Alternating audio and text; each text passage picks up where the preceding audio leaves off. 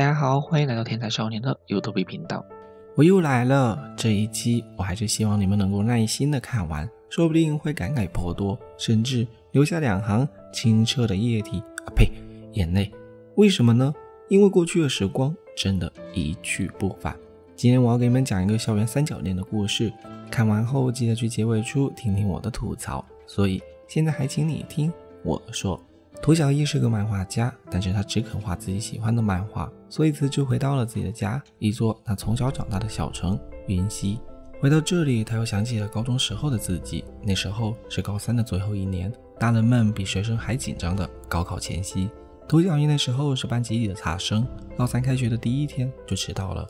他的班主任老陈正在训导学生说，上学期期末成绩平均分全年级倒数第一，所以他让宣传委员要遮田，一定要在板报上拿下第一，给班级加分。这时，涂小艺和花生正偷偷的想要溜进教室，被老陈给发现了。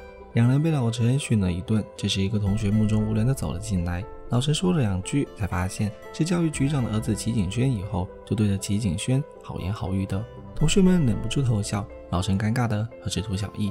顺便让他和姚哲田一起出黑板报。虽然老陈说接下来的一年里只有高考和那些不重要的事情，但是对于涂小艺来说，那些不重要的事情却远比高考更加的清晰，印刻在他的生命里。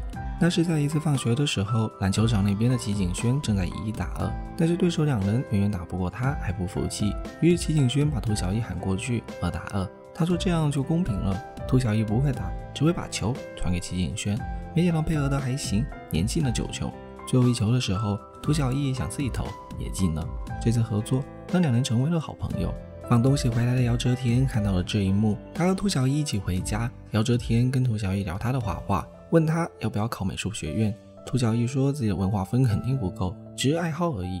在红绿灯等火车过去的时候，姚哲天说：“你说什么？我是说。”你有真心喜欢的事情听到这句话，涂小艺知道自己喜欢上了姚哲田。他的长发飘飘，还有他的这句真好。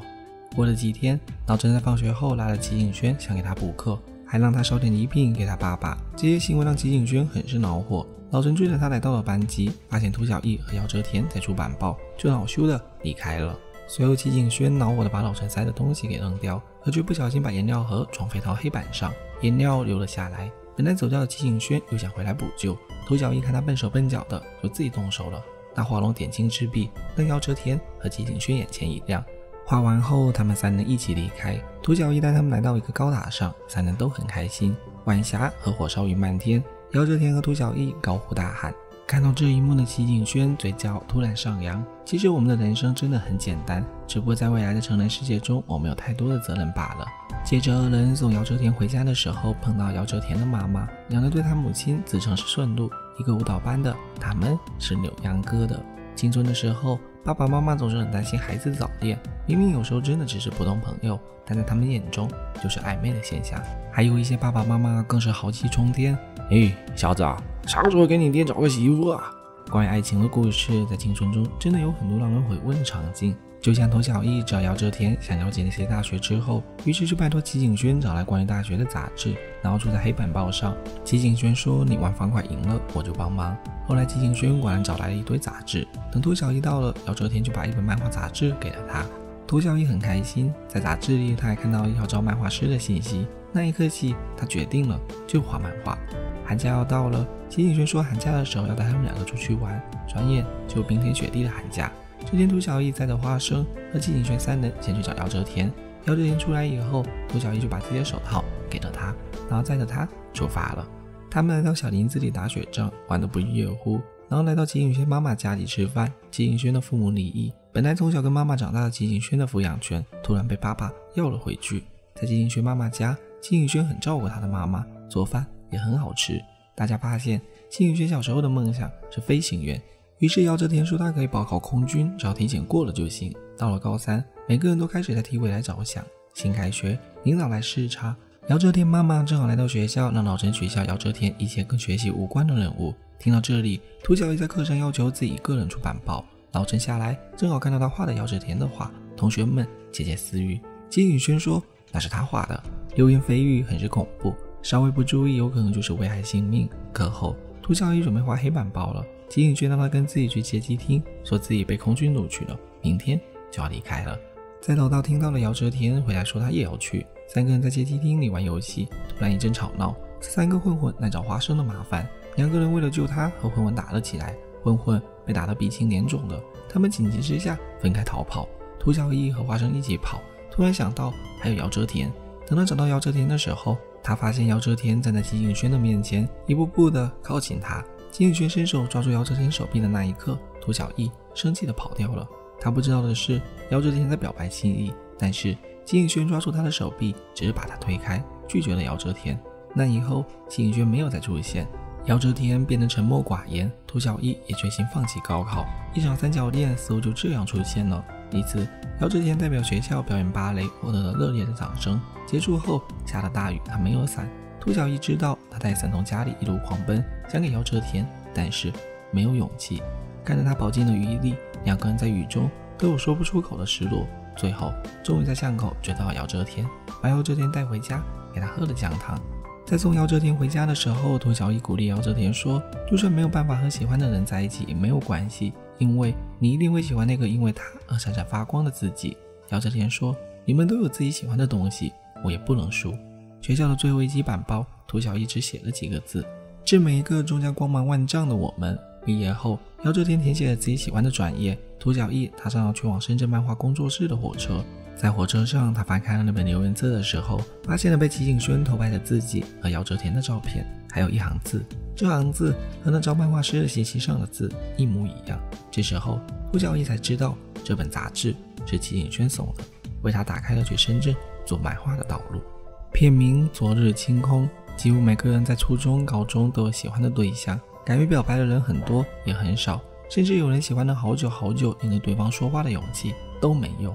说到这点，我就想吐槽，很多人说这部电影看得莫名其妙的那些评论啊，男主因为一句话就喜欢女主，这太扯淡了啊！整部剧情完全没说女主和男二有什么接触，为什么就爱上了男二啊？我更喜欢男二和男主在一起啊啊啊啊！什么呀？你是没上过学吗？你难道没有见过那种对女生默默付出的男人，最后却被突然横空出世的帅哥欧巴一句 I love you，然后直接被抢走的场景吗？在青春的时候，大多数感情不就是一见钟情吗？我承认也有很多是相处后了解彼此才确定在一起，又或者是对方真的对自己很好，或者付出很多的才在一起的情况。但是真的也很多是因为长得好看而在一起，根本不了解对方，先在一起再说，不然就要被人抢走了。而还有一种情况，就是因为一句话，因为一个动作，甚至一个眼神。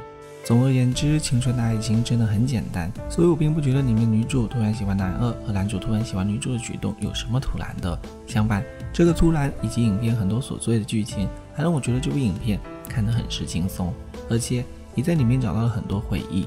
毕竟，青春本来就是一些琐碎无聊的小事构成，又不是每个人都经历过多胎以及疼痛。相反，没有清晰的主线，会让未来迷茫感更加的强烈。如果硬要说这部影片的问题所在，那估计真的就是结尾需要好好的思考一下了。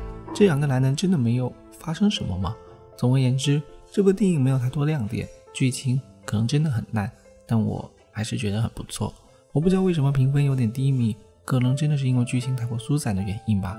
其实吐槽这些也并不是针对谁，只是想说我的青春就是如此，很平淡，没有太多波澜，都是些琐事，所以我看得很是舒心，也没有想和大家抬杠的意思。因为青春大多数人都是大同小异，那份平静，那份简单，真的是成年后非常渴望的存在。有多少人现在一个人在外北漂、上漂、深漂，却还是一事无成？最关键的是还不敢去找人倾诉，生怕别人会看不起自己一样。在累了、倦了、困了，很希望明天。是充满希望的一天，可是现实很残酷，但我们从不放弃，加油，陌生人！而在现在高考结束后，很多人的青春也暂时结束了，或许在大学就是你人生中最后一次享受了，好好珍惜在学校里的时光，那是在以后都很难很难找到的感觉了。我是少年，如果你喜欢我的解说，请点关注，那咱们下期再见，拜拜。